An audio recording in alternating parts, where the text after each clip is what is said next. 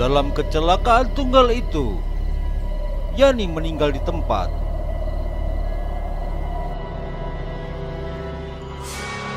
Maafkan aku sayang. Ini semua salahku. Maukah kau datang untuk menerima maafku meski itu hanya dalam mimpi? Ini dia. Ini adalah cara aku bisa ketemu dengan Yani.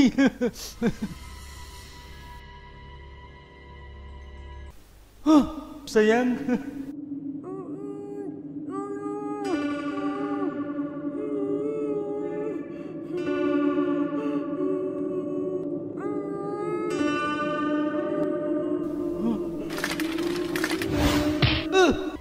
Kenyataan sebenarnya, arwah Yani menderita karena dikuasai dan dijadikan boneka oleh hantu anja-anja.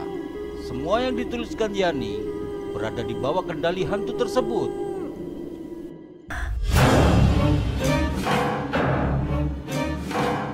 Ayah, ibu, hari ini hari perkawinan kami. Mohon doa restunya ya.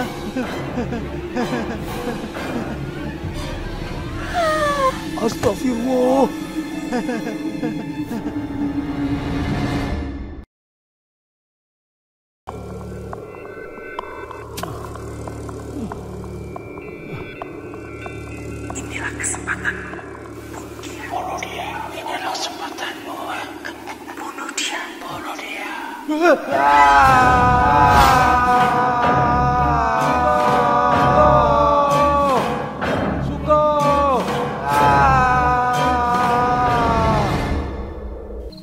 Sebagai pecinta alam, aku akan bangga jika gugur saat melakukan kegiatan di gunung.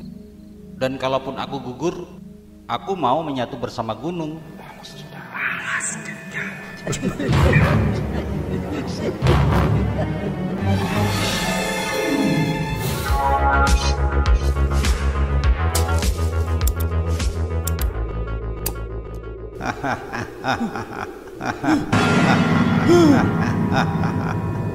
Terima kasih ya Bram, sudah ajak Agung kemari.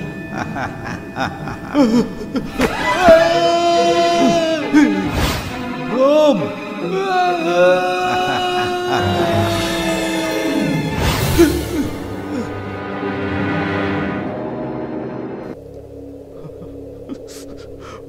Maafkan aku. Kenapa kau selalu minta maaf, Gung? Saat suka menggelantung di bawahku, sebenarnya ia bisa selamat. Kalau saja sebelumnya ia tak selalu mengejekku.